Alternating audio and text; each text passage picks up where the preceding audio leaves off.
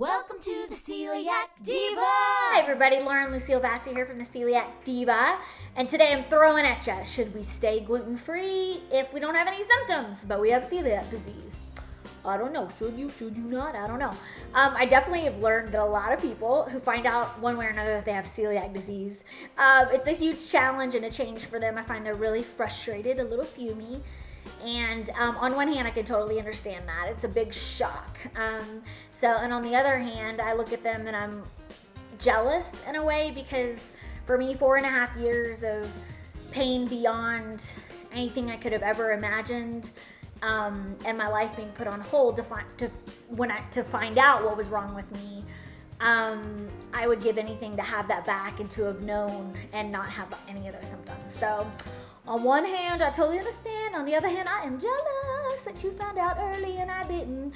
So let's just put that out there, okay? All right. So here's the question. The my question I must ask you is: Are you really asymptomatic? Have you ever had any? You know, really take an inventory of your health. Have you ever had low energy, trouble sleeping, gas, uh, sugar crashes, infertility, gum disease, thyroid challenges, anxiety, thirsty all the time? You know, take a look at your health and really see am I am I in perfect health? Do I feel the absolute best that I could feel? So I think that sometimes people may not acknowledge uh, just because they don't feel horrible, they may not um, be aware of some of the signs that the body is trying to quietly shout to them. So another thing, uh, one reason I think it's really important to stay gluten free is that it's if you understand celiac disease, I'm gonna assume you do, because you're on the Celiac Diva website, is that your intestines are damaged whether you like it or not. So you can make a choice. Do I continue to do I continue to damage them? Do I allow them to heal? Damage them, allow them to heal. Damage them, allow them to heal. That's that's and if you can allow them to heal, you're going to protect yourself long term. Continue to damage them, you're going to put yourself in a very vulnerable position long term. A vulnerable position for psoriasis, Addison's disease, osteoporosis, intestinal cancer, and the list goes on and on and on. Do I think that being fearful is a reason to stay gluten free? No, I think it's been it's a gift.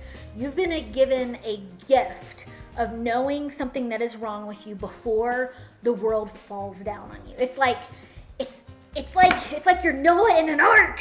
It's like it's like you know that there's a flood coming and you get to get on a boat. like you know, and not get completely destroyed. And, you know, so it's a gift. You get to decide whether you want to get on the boat or not. Um, just cracks you up that I just started talking about Noah the Ark. Okay, so um, you're protecting yourself from symptoms and damage later in life. Also, something else I want to throw out there is to look at your medical history. Any are there any unexplained illnesses? You know, how did people pass away in your family? For me, there's like colon cancer and a lot of Alzheimer's on the side of my family where all the undiagnosed celiac disease was. And I did I don't want to follow in their footsteps as much as I love them. So really, um, I just want to put it back in your court and say that the choice is up to you. Stay gluten free or not, it's your choice. Just continue to educate yourself and make the right decision that's best for you and know that no matter what you decide, whether you get in the boat or whether you stay on what looks like dry land, but the rain could be a coming, people. It's your choice. It really is your choice. Um, you guys have a fantastic gluten-free day, and until next time.